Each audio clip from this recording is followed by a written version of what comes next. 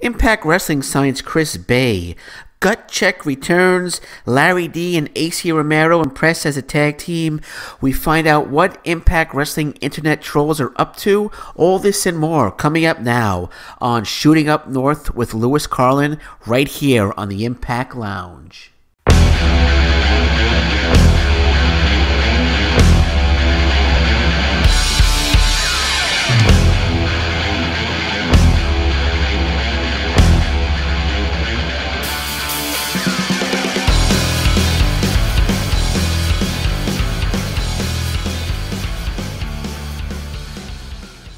Hey folks, Lewis Carlan here. Hope everyone's doing well. So, Impact Wrestling has signed Chris Bey, young, up and coming, 24 year old, potentially great Chris Bey.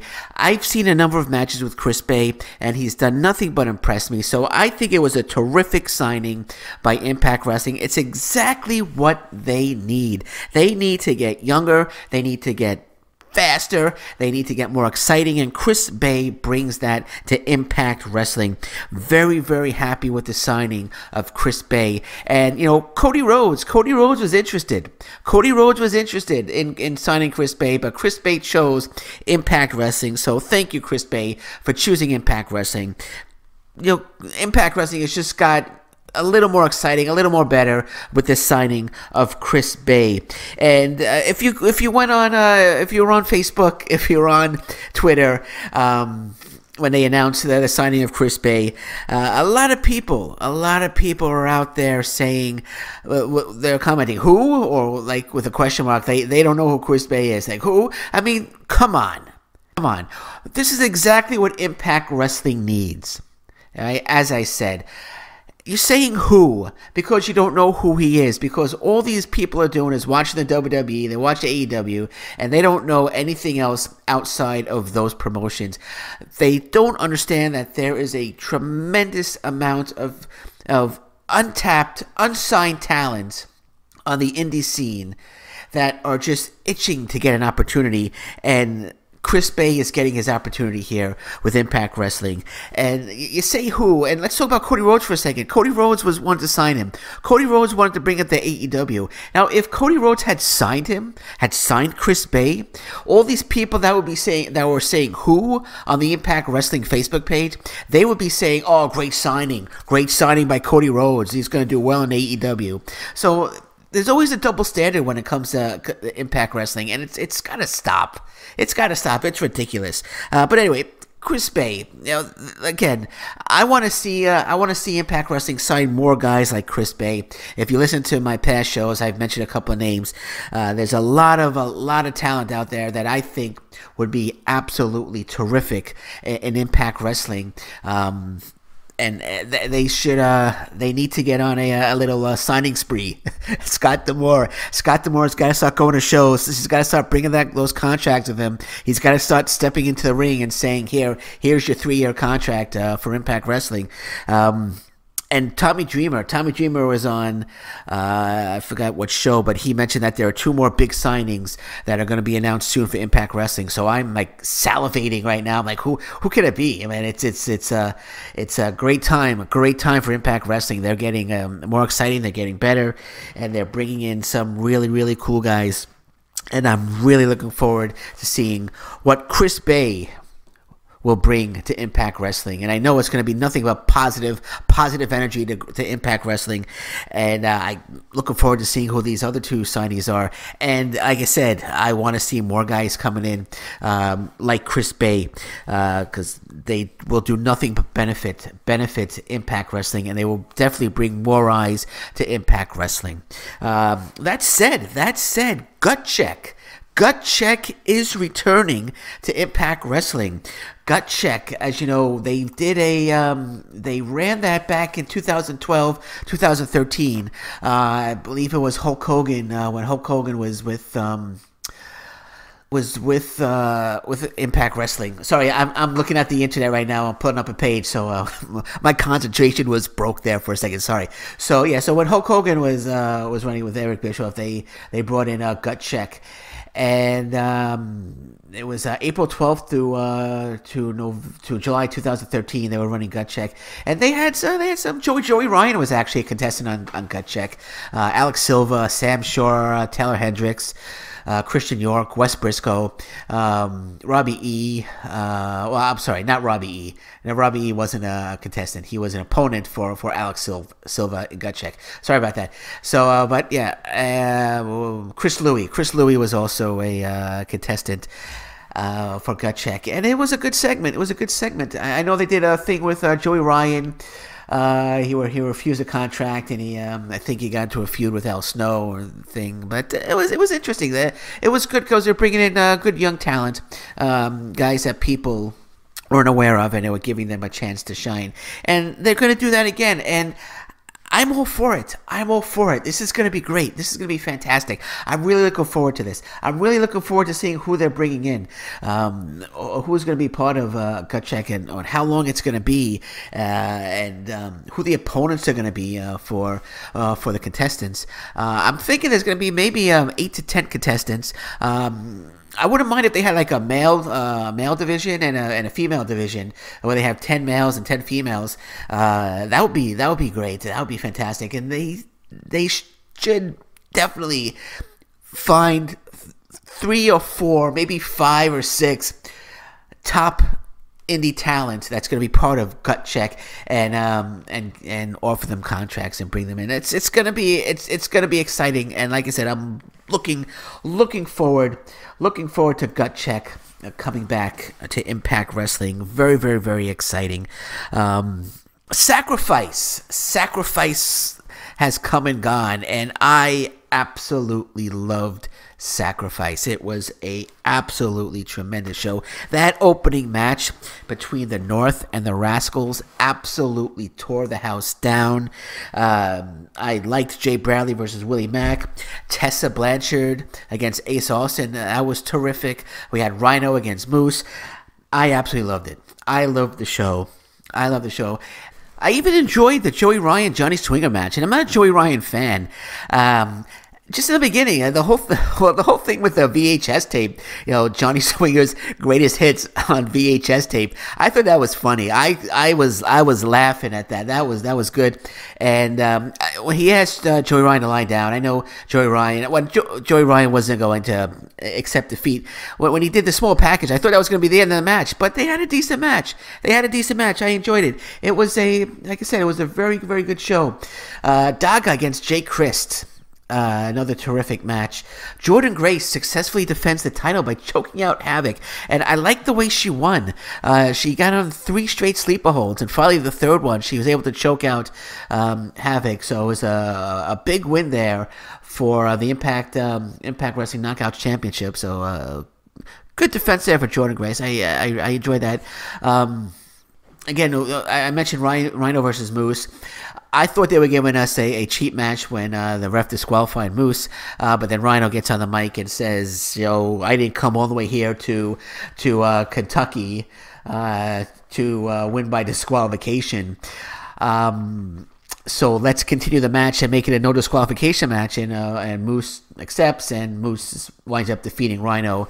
Um, and with the spear, and I enjoyed that match, and who else do we have here? Uh, there was the pre-show. I kind of miss. Um, I kind of miss. Uh, missed the pre-show. I didn't know there was a pre-show on on uh, Twitch. Uh, I found out too late, so I kind of missed the pre-show. Uh, we had um, Acey that Acey Romero and Larry D. Let's talk about them. They they teamed for the first time uh, the night before against the North, and they did a really really good job. And it was a really good match um, at uh, at Outbreak against the North. And I really like this team. I really like the team of Acey Romero and Larry D. I think they did a great job on both nights.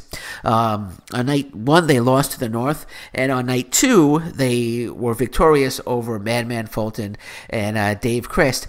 Now, uh, my man BQ mentioned we were talking about the match uh, a few days before, and uh, he did mention to me that uh, he thinks Dave Crist is going to uh, eat the pin and lose the match for his team and get pinned by Larry D. And he was spot on correct on that. Larry D got the victory over Dave Crist in that match. But it was a very, very good match. I again, I like the team, and I, I hope this is going to be a regular team because they Impact Wrestling needs more tag teams. I can see Larry D and Acey Romero actually challenging the North for the for the Impact Tag Team titles uh, in the future. So I, I hope, I hope that they keep them as a team. And I'm glad to see Larry D get in there. I'm glad to see Larry D get in there. I know on my last podcast I was saying, Where's Larry D? They signed him, but we don't know where he is. He hasn't shown up. But Larry D showed up and he got a nice pop at Outbreak and uh, he did a great job on both shows, uh, as did Acey Romero. And I'm very, very happy, very, very happy for for Larry D and Acey Romero. I'm very happy for Impact Wrestling in general. They, they did a great job this weekend. And um, what else did we? Oh, like I, I mentioned, they, there was Outbreak. We had Outbreak. Now Outbreak was okay. I, I, I thought, I thought Sacrifice was a hell of a lot better. A hell of a lot better. Uh, it looked better. Uh, production wise, it looked better. The, the arena was better.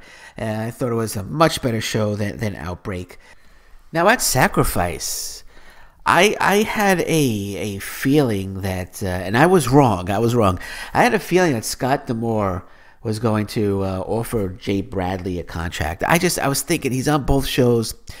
Um, he does uh, he does really well in the ring, and I, I thought maybe Scott D'Amore is going to show up and, and give Jay Bradley a, a contract uh, for Impact Wrestling, but that unfortunately was not the case. Scott D'Amore did not show up at Sacrifice and did not offer Jay Bradley a contract for Impact Wrestling.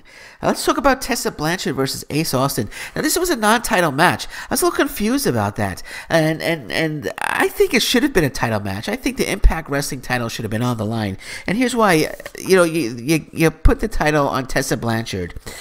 Uh, first woman ever to hold the world a world championship, which is yeah, uh, China Chyna Chyna never held the WWE title. So she's the Tessa Blanchard, unless I'm sadly mistaken, is the first woman ever to hold a top title in any professional wrestling promotion.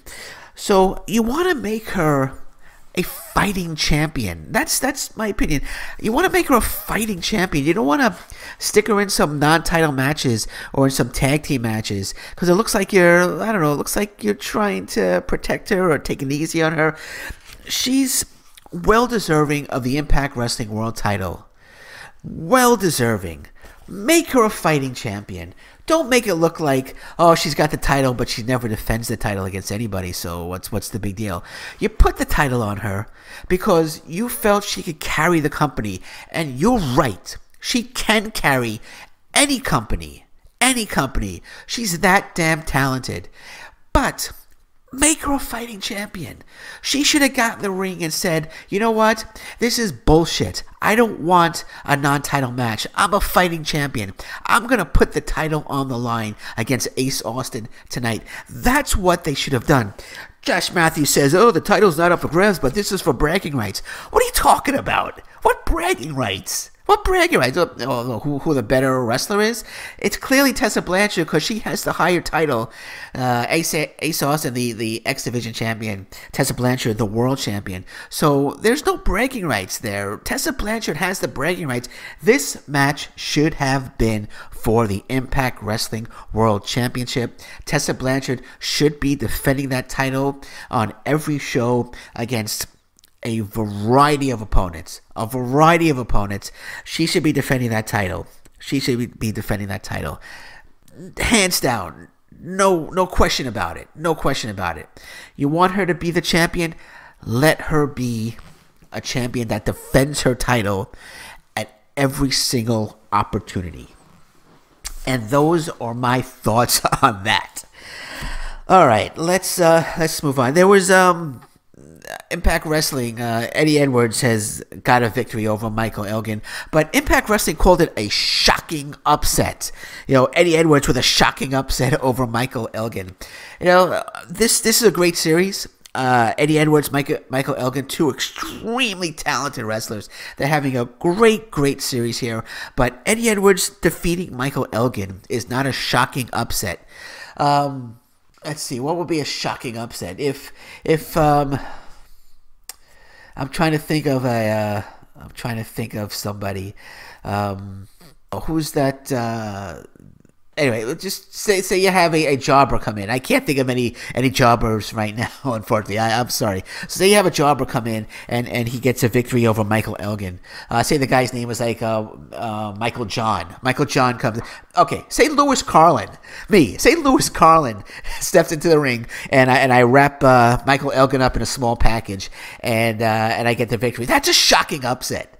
That's a shocking. Lewis Carlan defeating Michael Elgin on national TV. That's a shocking upset. Eddie Edwards defeating Michael Elgin, which we all expected was going to happen, you know, because I predicted when this series started that Michael Elgin was going to win the first two, Eddie Edwards is going to win the second two, and then they're going to go to uh, the one deciding match. And um, I picked Michael Elgin to, to be the the victor um, by cheating. And that, that was that was that's what I predicted for this for this um, series, and I'm right, and I'm right. And uh, Eddie Edwards wins uh, match, and he's probably going to win the next one. I'm, I'm, not giving a spoiler. I have no idea. I don't read spoilers, uh, but I'd be very surprised if Eddie Edwards uh, isn't doesn't go over uh, in the next match. But uh, it's not a shocking upset. Not a shocking upset there. Totally expected Eddie Edwards winning that match over Michael Elgin. Another thing that Impact Wrestling, I think, needs to kind of, you know, put the brakes on, put the brakes on, is using the word dream matches or dream team. We're using the word dream altogether.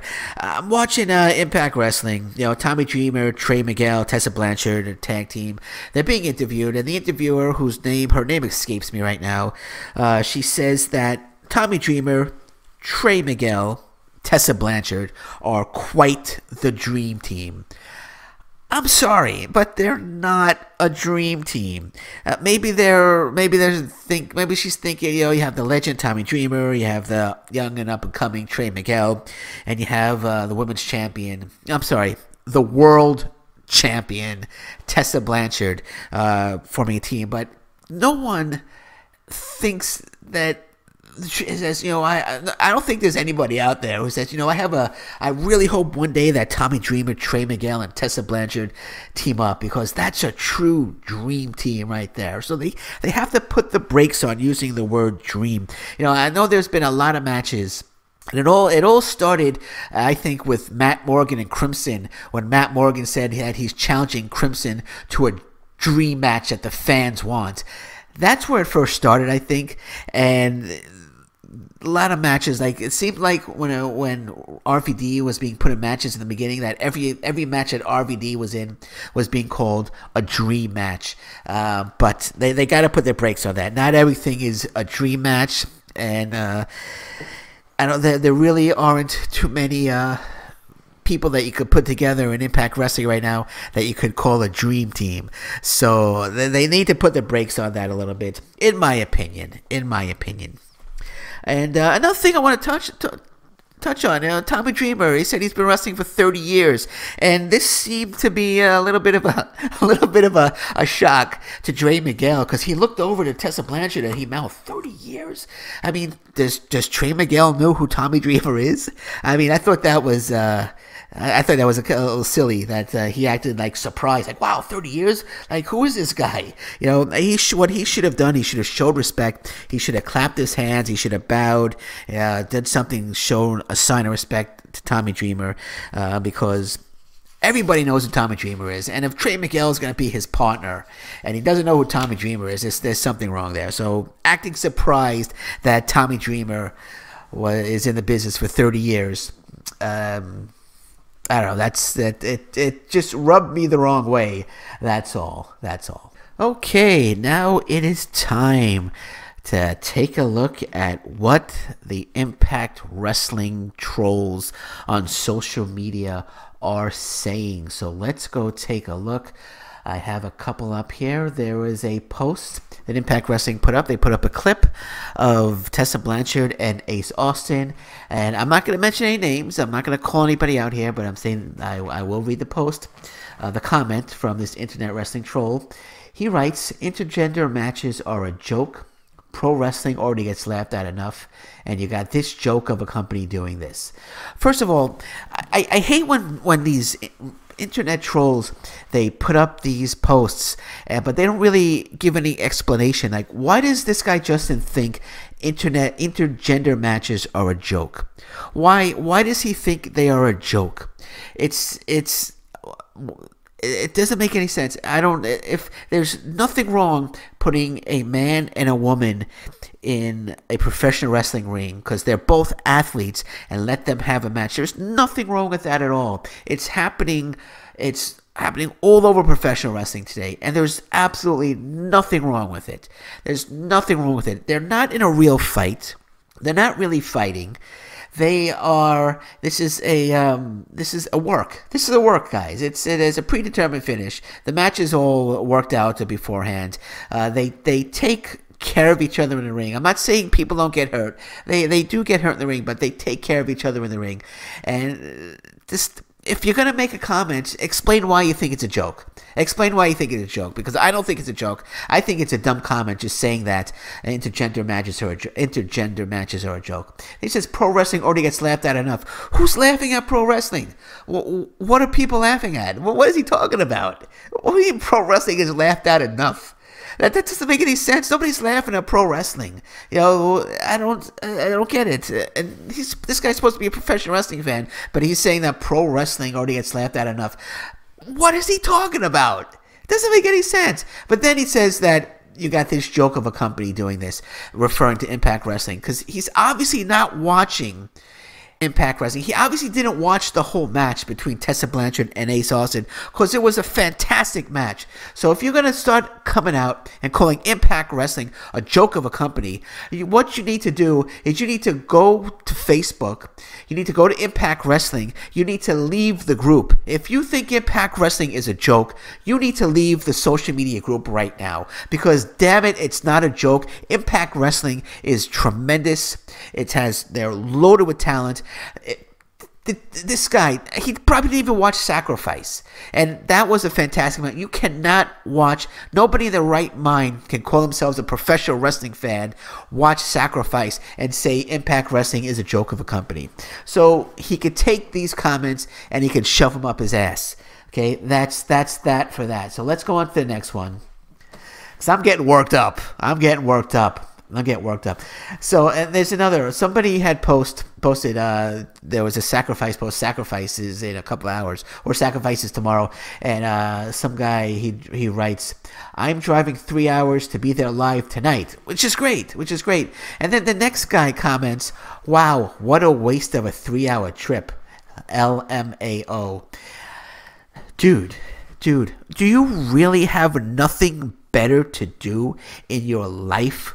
Than to sit at home, scroll through Impact Wrestling posts to see what comment you could you could you could um, crap on and kind of you know kind of stupidly. I, it just it doesn't make sense. You have to post something. If somebody wants to drive three hours to a professional wrestling show which i have done many many times in my lifetime that's their business. And he, he that that three hour drive there and three hour drive back was well worth it because Sacrifice was a phenomenal show. And you got idiots like this who try to take away the fun of, of going to a professional wrestling show by making stupid ass comments like this. And he was ripped apart by a lot of people. But please, dude, if you're not going to a show, if you don't want to go to a show, that's your freaking business. Don't take away fun or the fun that somebody else might be having by going on a little road trip by going to a professional wrestling show,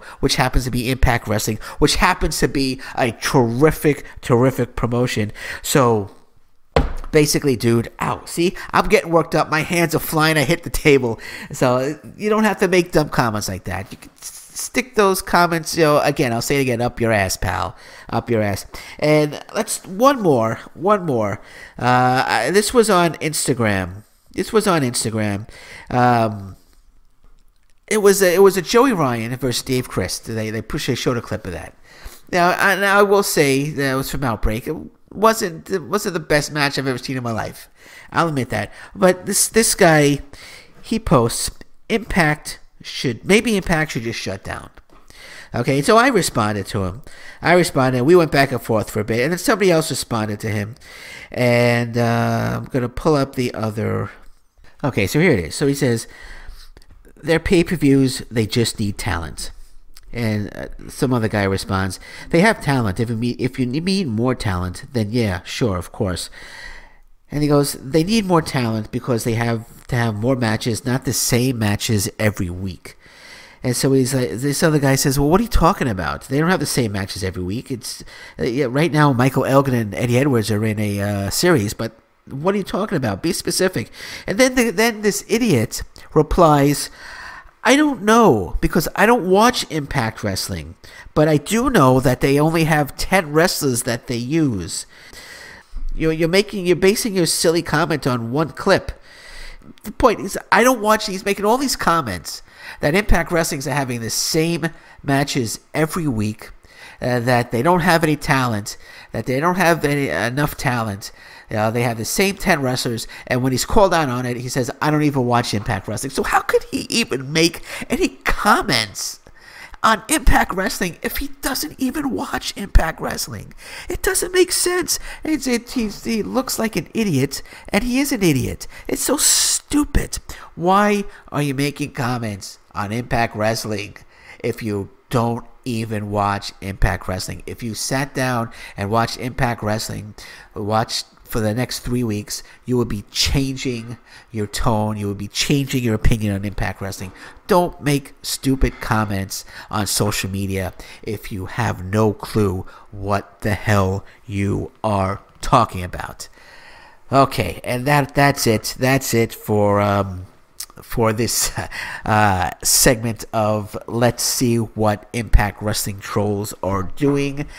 That said, I want to say that I have two interviews coming up for the Impact Lounge right here on Shooting Up North. It will be with uh, Josh Alexander and one with Larry D. So those are coming up. So keep an eye open for those again right here on the Impact Lounge. And until next time, thank you for joining me. Take care. Bye bye. Stay safe, everyone. So long. Bye bye.